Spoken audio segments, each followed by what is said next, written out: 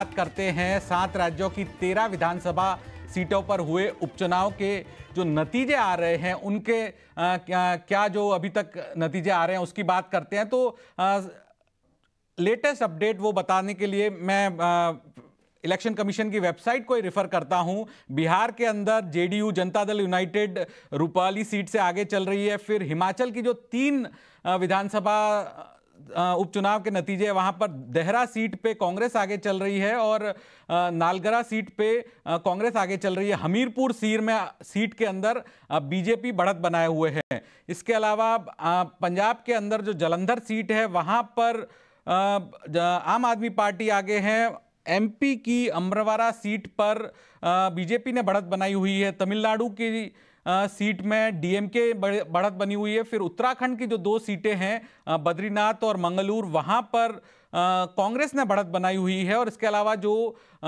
पश्चिम बंगाल की चार सीटें हैं, वहाँ पर टीएमसी के द्वारा बढ़त बनाई हुई है। तो तेरह राज्यों के तेरह उपचुनाव जो है वो सात राज्यों में हुए। दस तारीख को यहाँ पर वोट डले थे और उसके बाद जो काउंटिंग है आ, उसके जो अभी तक के आंकड़े हैं वो दिख रहे हैं जिसमें पश्चिम बंगाल में टीएमसी चारों सीटों पे आगे चल रही है। अब आगे बढ़ते हैं।